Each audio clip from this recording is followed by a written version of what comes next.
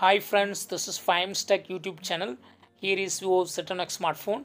In this video, we learn how you can reduce icon size in one phone Vivo Z1x. First of all, go to the settings for phone here and click home screen, lock screen and wallpaper. Click on home screen settings. Here choose icon size. This is default size.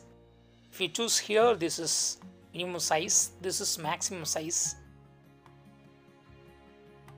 So in this way you can easily switch between different sizes of phone Vivo Z1x.